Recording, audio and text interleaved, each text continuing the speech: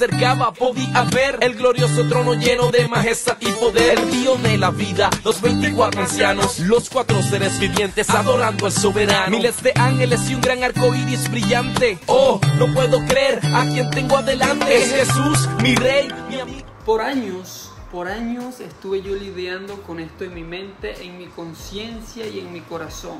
Si fue Adán y Eva, una pareja que nosotros no conocemos todavía y que no tenemos idea realmente quiénes fueron hablando físicamente, más que fue, fueron creados, creados a su imagen y semejanza como nosotros. Por años yo estuve lidiando con esto en mi conciencia. Si fue Adán y Eva, ¿por qué yo tengo que pagar por ese pecado? Si fue Adán y Eva los que le fallaron a Dios primero, ¿por qué nosotros, por qué la humanidad, las generaciones que le siguieron, teníamos que cargar con ese peso? Hasta que un día el Señor maravillosamente me respondió lo siguiente. Así como nosotros no tenemos la culpa de lo que hicieron Adán y Eva, el Señor Jesucristo tampoco tenía la culpa o la necesidad. La necesidad, Él no tenía la necesidad de morir en esa cruz por tus pecados, por mis pecados, por mis errores y por los errores de todo este lugar. Entonces, así arrancamos este, este mensaje que va a estar muy interesante, porque se trata de despertar conciencia, porque una de las analogías que continúa confundiendo la mente del ser humano es esa. ¿Por qué si fue Adán y Eva, por qué si fueron otras personas, yo tengo que pagar por eso? Lo acabamos de leer, lo acabamos de ver, lo acabamos de, de descifrar. En la mente omnipotente, omnisciente de Dios, ahí tenemos la respuesta. De la misma forma que nosotros no tuvimos la culpa y heredamos ese pecado, esa maldad, esa maldición, el pecado degenerativo, de la misma forma el Señor Jesucristo se entregó a sí mismo para con su justicia demostrarnos de que, como dice la palabra, por una por un hombre la muerte entró a lo que es la, la cadena, ¿verdad? Lo que es la, el, el, el, compositor, lo que es la esencia misma de la vida. Por un hombre el pecado entró al mundo, por Adán. Y por un hombre el pecado ya no tuvo más la misma fuerza, la misma autoridad. Esto es lo que vamos a tratar de, de, de descifrar realmente, porque yo le, este, sinceramente estuve lidiando con esto muchas veces. Porque si fue Adán y Eva, yo tuve, yo tengo que cargar con ese pecado. Y vamos a ver a la luz de la escritura cómo de la misma forma que Adán y Eva no fueron capaces de responder como Dios esperaba, Dios en su mente única creó una solución.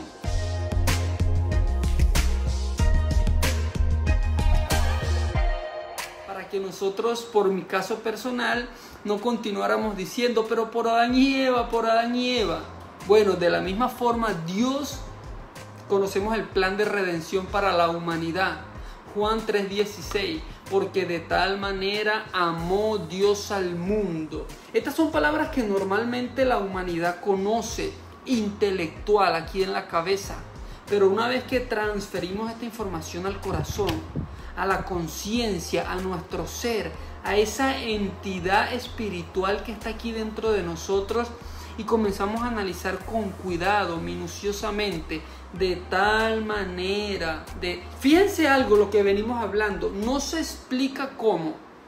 Dios dice de tal manera, hay un mensaje completo de esto, de que no sabemos de qué forma Dios amó a este lugar, solamente dice la palabra, de tal manera, o sea, de una forma única.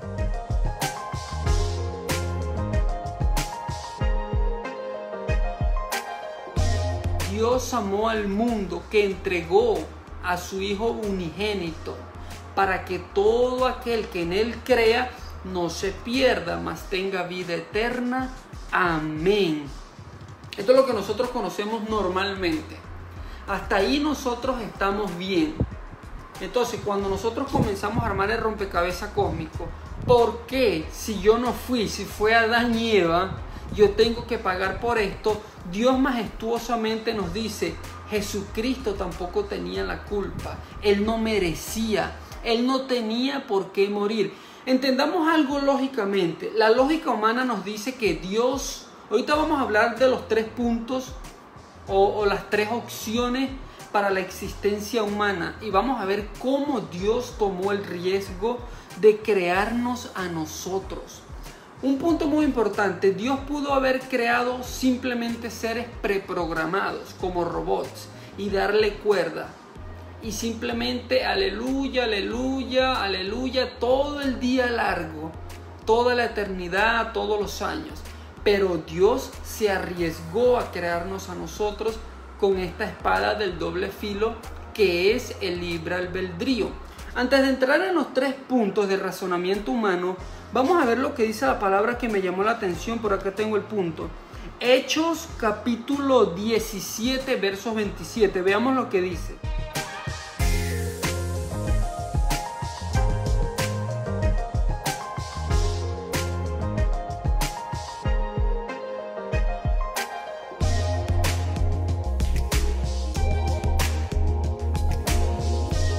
Esto es un llamado que viene haciendo Dios desde la creación, Adán y Eva, el Antiguo Testamento, el Nuevo Testamento, Abraham, Isaac, Jacob y las doce tribus.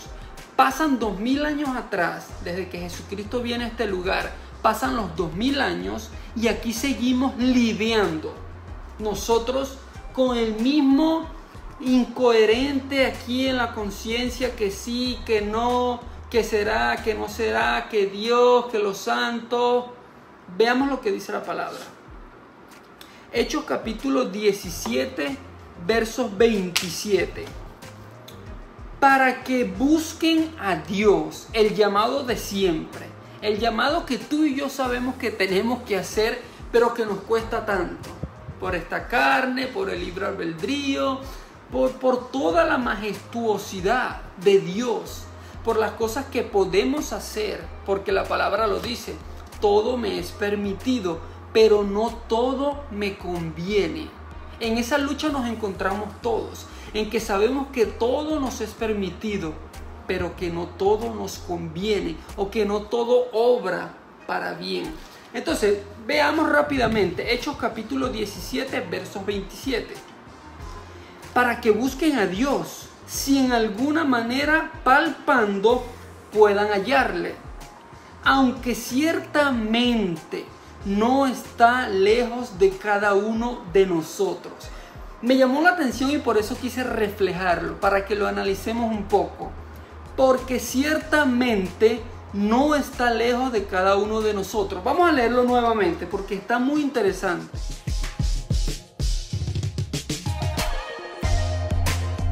Para que busquen a Dios. Si en alguna manera palpando, ahorita vamos a ver la raíz etimológica de esta palabra, palpando.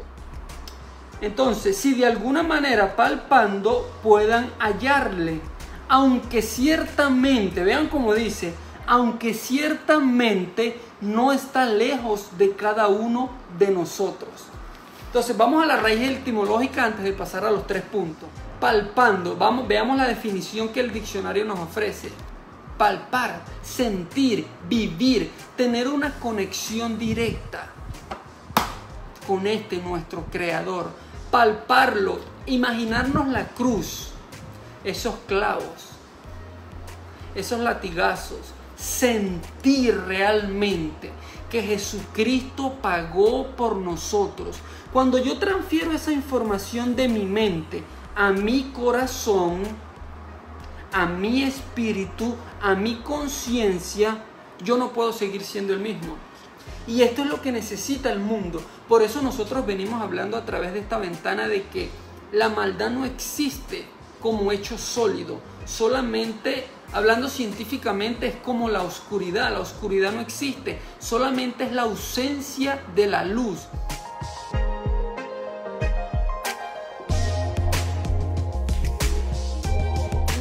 El libro de Génesis nos dice algo maravilloso. En el principio creó Dios todo y vio Dios que todo era bueno. Yo estuve analizando esto por mucho tiempo y llegué a la conclusión de que, ok, entonces si Dios creó todo y todo era bueno, quiere decir que en este transcurso de los 5.000, 6.000, 7.000 años que conocemos de historia humana, lo que viene sucediendo es la falta. Sígueme con cuidado. La maldad no existe, solamente hay falta de cosas buenas. La maldad no existe, solamente hay falta de Dios en mi vida un caso personal, yo siempre lo comparto. Si yo dejo de orar, si yo dejo de ayunar, si yo dejo de leer la palabra, yo me vuelvo carnal automáticamente. Comienzo a criticar, comienzo a tener esos sentimientos y esos pensamientos que el diablo nos pone aquí, yo no los voy a poder controlar. Sino que cuando me hablen feo, yo voy a hablar el doble de feo. Cuando me hablen mal, yo voy a hablar el doble de mal.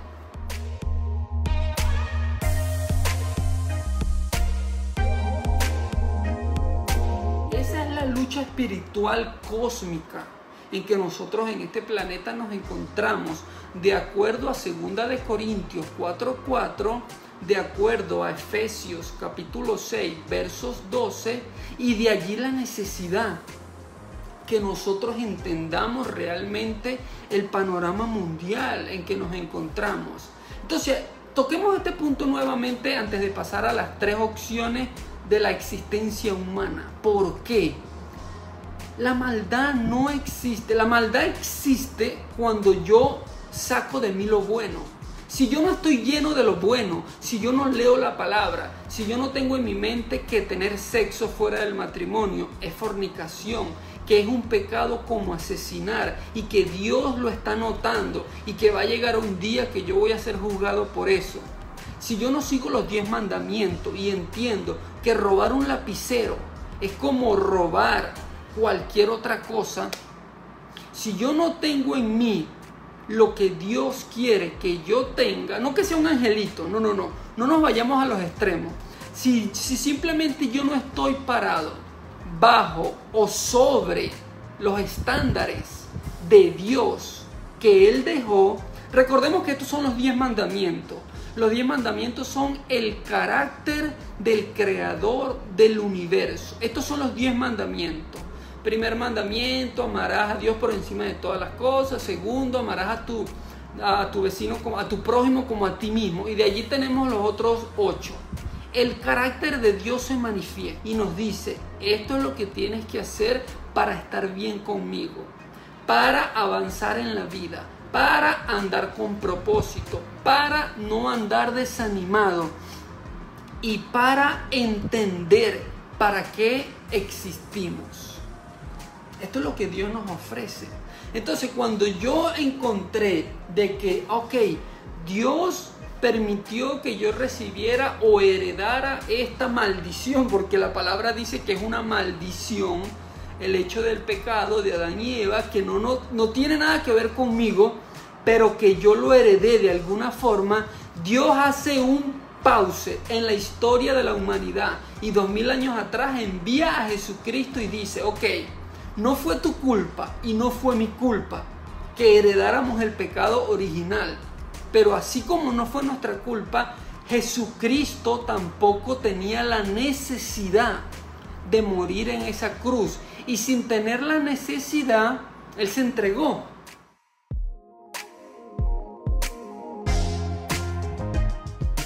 Entonces es como una por la otra. Y vamos a ver lo que dicen las tres posibles opciones para la existencia humana. Tenemos la primera. La primera opción nos dice que en este mundo tan diverso solamente hay tres opciones para nuestra posible existencia. La primera, un universo autocreativo. Un universo autocreativo. O sea, que se creó por la misma fuerza del mismo de la materia, de las moléculas, de las células o de lo que sea que lo queramos llamar. Esta es la primera opción. Tenemos la segunda que es un universo eterno. O sea que el universo ha existido eternamente.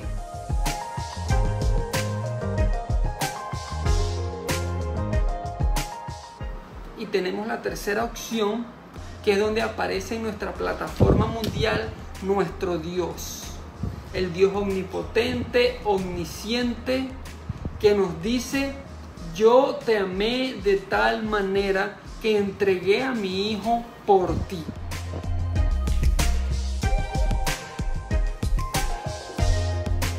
Para cualquiera de estas tres opciones, nosotros debemos de, tener y de poner en práctica una fe que traspasa el entendimiento humano. Por eso la fe es Hebreos 11.1. La fe es la certeza de lo que no se tiene, la seguridad de lo que no se ve. Hmm, qué tremendo, ¿verdad? Veámoslo nuevamente. Eh, Hebreos 11.1. La fe es la certeza de lo que no se tiene y la seguridad de lo que yo no he visto. Aquí estamos nosotros parados. En este, en este, en este medio del pasado, el futuro, y aquí nos encontramos. Intentando descifrar las dos dimensiones, aquí estamos. Porque por fe andamos, dice la palabra. Por fe andamos y no por vista, porque si lo hubiésemos visto ya no sería fe.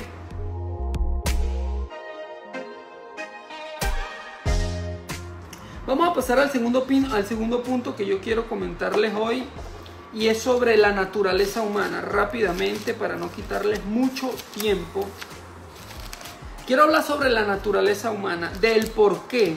El por qué a nosotros se nos hace tan difícil realmente comprender el plan de Dios, que aparentemente es fácil, ¿verdad? Los diez mandamientos, háganme caso, vivan tranquilos, anden en paz lo más posible y ya.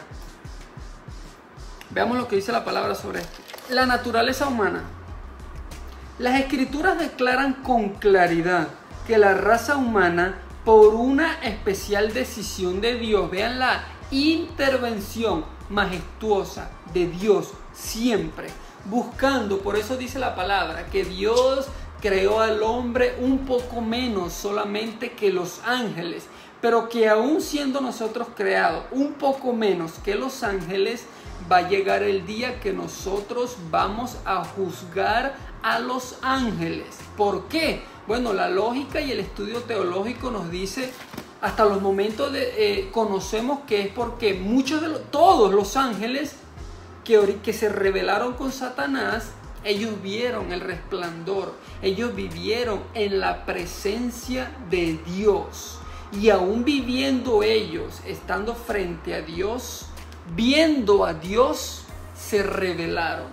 Y nosotros que estamos viviendo por fe, va a llegar el día que los vamos a juzgar a ellos. Esto es lo que dice la Escritura.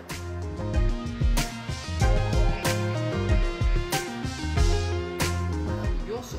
Por eso dice la palabra también que en este momento nosotros somos espectáculo para los ángeles y para los hombres. Esto es maravilloso, sin duda alguna. De allí la necesidad de nosotros tener contacto con la palabra, tener contacto con este misterio que nos envuelve, que nos persigue. Tú no te has preguntado por qué Dios nos persigue tanto. ¿Por qué Dios me persigue tanto? En el trabajo, en la familia, eh, a donde quiera que voy, aquí hablándonos, no lo hagas, no lo hagas, apártate, no fumes, no emborraches, no engañes a tu pareja, apártate, mantente sano, mantente tranquilo, mantente apartado. Este es el significado de la palabra santo, apartado.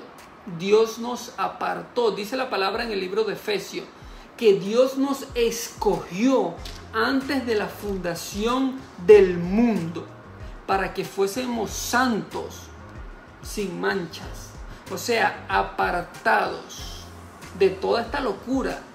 La cosa está en cuanto lo creemos.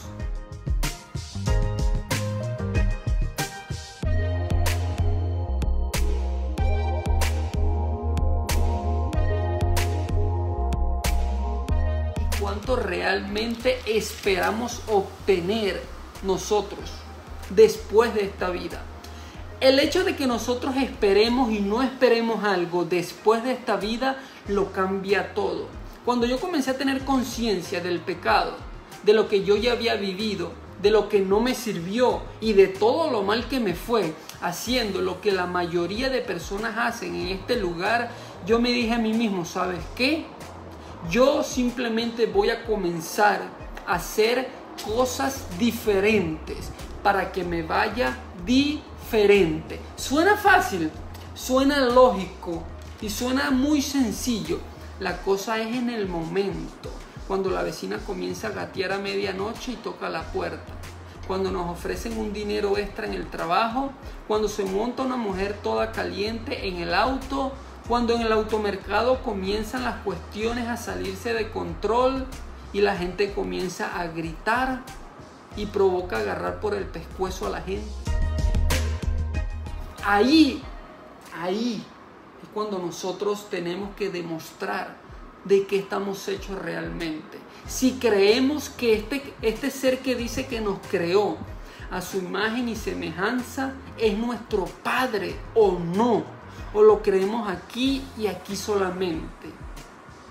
Es en ese momento cuando nosotros le damos de qué hablar, como dice la palabra, a los ángeles y a los hombres, porque estamos siendo ahora mismo espectáculo al universo entero.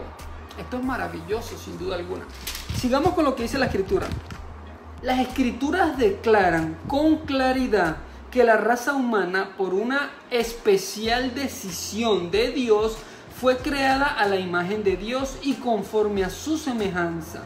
Por lo tanto, Adán y Eva no fueron productos de la evolución, por cuanto fueron creados a la semejanza de Dios, podrían responder a Dios y tener comunión con Él y reflejar su amor, gloria y santidad. Volvemos al tema de Adán y Eva. No fue nuestra culpa, es verdad, no fue nuestra culpa, pero de la misma forma que no fue nuestra culpa arrastrar el pecado de Adán y Eva, no fue la culpa de Jesucristo. Y es Jesucristo. Póngale que fuera sido Jason, Ramón. No importa el nombre, pero en esta ocasión hablamos de Jesucristo, el ser que dividió la historia de la humanidad, el ser que anda dando vueltas aquí. Dios, Dios, lo hago o no lo hago, robo o no robo, miento o no miento, lo hago o no lo hago, hazlo, no. De esto estamos hablando hoy. Notemos otro punto muy importante, las responsabilidades, una de las responsabilidades de la naturaleza humana. Cuando Dios creó a los seres humanos, les confió varias responsabilidades. Dios los hizo a su propia imagen para que Él pudiera desarrollar, vea con cuidado, sígame con cuidado, Dios los, para que Él pudiera desarrollar una relación amorosa y personal con ellos por toda la eternidad y para que ellos lo glorificaran como Señor. Tanto deseaba Dios, tanto deseaba Dios un pueblo que le disfrutara de Él, lo glorificara y viviera en justicia y santidad delante de Él, que cuando, sigan con cuidado, sigamos con cuidado porque esto se pone interesante, que cuando Satanás tuvo éxito en tentar a Adán y a Eva para que se rebelaran contra Dios y le desobedecieran, el Señor prometió enviar a un Salvador para que redimiera al mundo. Volvemos al mismo punto, ¿verdad? Todo esto es como, son como lagos, yo siempre lo comparto de esta forma. Son como lagos y lagos y lagos y ríos que todos desembocan en el mismo océano, la mente de Dios. Estamos viendo que nosotros no tuvimos la culpa de lo que hicieron Adán y Eva, ¿verdad? Pasaron 3.000, 4.000 años, 2.000 años atrás se aparece Jesucristo y dice, yo no tengo la necesidad de morir en esa cruz. Yo puedo simplemente hacer como hizo con el diluvio. Hay pruebas de que el diluvio es real para los que no tengan conocimiento. Pruebas de que la ciencia, la antropología confirman de que hubieron montañas que estuvieron cubiertas de agua. Jesucristo se aparece y dice, yo no tengo la necesidad de morir en esa cruz, ser golpeado, bofeteado, látigos, sus clavos en sus manos, no tengo la necesidad. Pero por ti y por mí, Él lo hizo. ¿Y cuánto nosotros creemos esto realmente con nuestro ser? Más que con la boca, más que con la mente y más que con el corazón, sino con nuestro ser, con nuestro espíritu y con nuestra conciencia, de esto va a depender todo. De esto va a depender absolutamente todo, porque allí es cuando se cumple la escritura frente a nuestros ojos.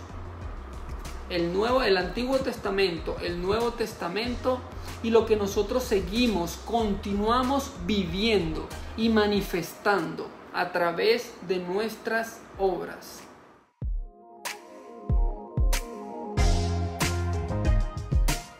Es sencillo, no hace falta conocer toda la Biblia. Si un 60% pusiera en práctica lo que conoce de la Biblia, no, robar, no matar, no mentir, no engañar a nuestras parejas y todas estas cuestiones, si el 60% lo hemos analizado en mensajes más completos, si un 60% de la población mundial pusiera en práctica los 10 mandamientos solamente, este lugar fuera otro. No estuviéramos tan desastrosos como estamos. De allí el libre albedrío y la responsabilidad que este otro misterio del libre albedrío abarca y nos envuelve. Yo te invito en esta ocasión simplemente que abras tu corazón, abras tu corazón. Jesucristo dijo, dos mil años atrás y dos mil años después, el mismo requisito continúa vigente. Primera de Juan 1.9 porque si confesamos nuestros pecados, Él es fiel y justo para perdonarnos y limpiarnos de toda maldad. Así lo dijo el Señor. O sea que en el momento que nosotros confesamos realmente, engañé a mi pareja, robé, mentí, de pronto le quité la vida a alguien, lo que sea, y me duele mi corazón, a punto de que casi que me destroza, y yo digo, ¿sabes qué? Ya quiero estar bien con Dios. Quiero comenzar una vida nueva. Quiero comenzar una página, pasar la página y comenzar a escribir cosas diferentes. No importa que se van a burlar de mí, que me van a decir el aleluya, que me van a decir el tonto, el pastorcito, lo que sea. Esto es lo que continúa transformando el mundo personas que la saca de prostitución, homosexualidad, robar, mentira, narcotraficante, de todo.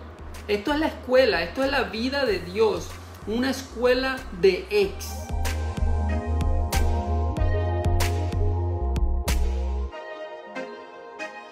Hay un mensaje completo sobre este tema, la escuela de ex. Estos somos todos una escuela de ex, porque de alguna forma todos fuimos ex de algo.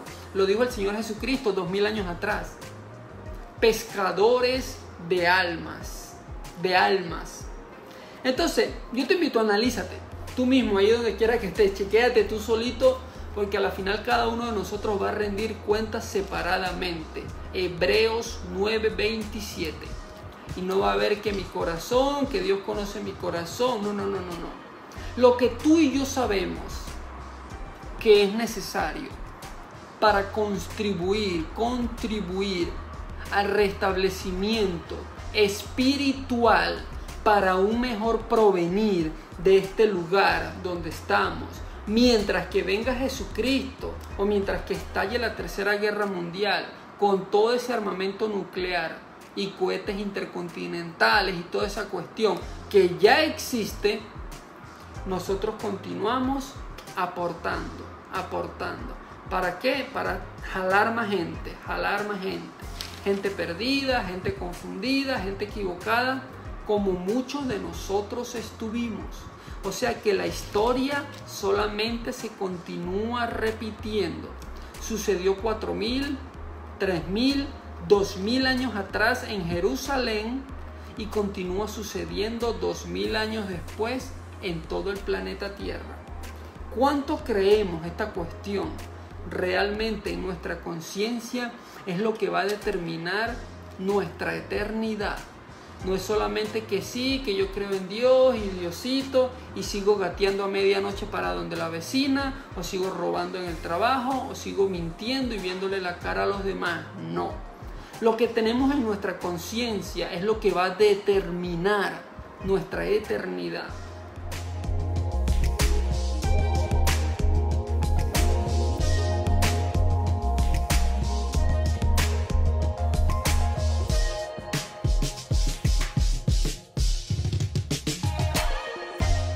Yo te invito a analízate porque si estás viendo este mensaje no es casualidad. Las coincidencias no existen. Yo creo en las diosidencias, en el propósito de Dios para su creación.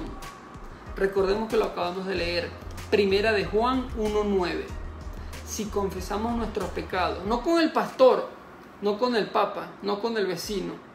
No, si confesamos nuestros pecados con Jesucristo porque un solo intermediario entre Dios y los hombres, Jesucristo hombre.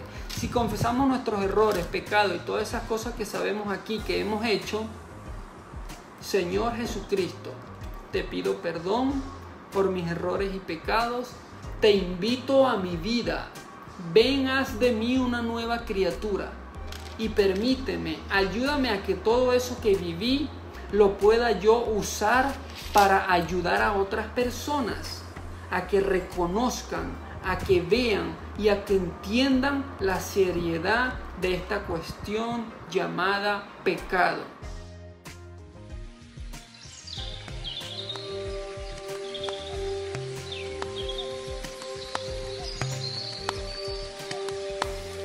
cómo nos afecta, cómo nos autodestruye y cómo podemos evitarlo para simplemente vivir una vida diferente y comenzar a tener resultados diferentes. En el nombre de Cristo Jesús. Que seas tu Padre recibiendo tu gloria y tu poder porque eres tú el que permite, el que brinda y el que nos concede tu sabiduría y tu conocimiento para que nosotros te busquemos, nos pongamos al día contigo y nos preparemos para esa vida que nos está esperando después de esta. En el nombre de Cristo Jesús. Nos vemos luego en un próximo mensaje. Recuerden que va a estar la página y otros más mensajes para que nos continuemos preparando. Boom, bye bye acercaba podía ver el glorioso trono lleno de majestad y poder. El Dios de la vida los 24 ancianos los cuatro seres vivientes adorando al soberano. Miles de ángeles y un gran arco iris brillante. Oh no puedo creer a quien tengo adelante. Es Jesús mi rey mi amigo